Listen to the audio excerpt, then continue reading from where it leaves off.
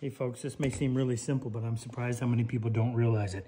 If you want to get maximum holding power out of a wood screw between two pieces of wood, the wood screw cannot bite in the first piece at all. So what I do is go in and take a slightly larger drill, a drill that actually represents the outside diameter of the threads, and pre-drill that first piece. Now the screw will easily pass through it. It doesn't bind in it at all.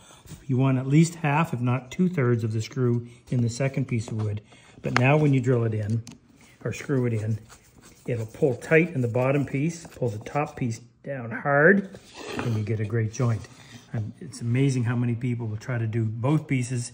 Part of the thread bites in the first one. It will not pull it tight together. This way it does.